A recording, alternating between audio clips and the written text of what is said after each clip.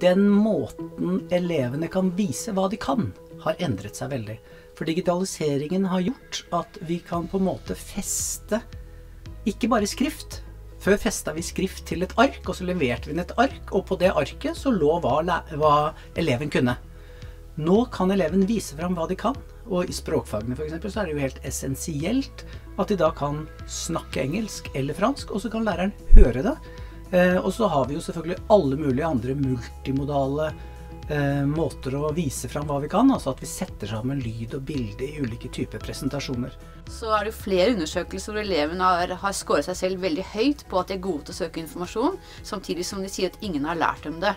Så det må de lære. Det er ikke bare å google et eller annet ord og så ta de tre første søkene f.eks. Og, og tenke at det er bra. I, dag hvor fake news er et sånt tema, hvordan er du sikker på at den informasjonen du finner, er virkelig sann? Så, så det, er, det, er, et helt kapittel man må gjøre der. Så det, det, er mange nye ting for lærere i klasserommet. Men det er jo veldig spennende, da. Mm.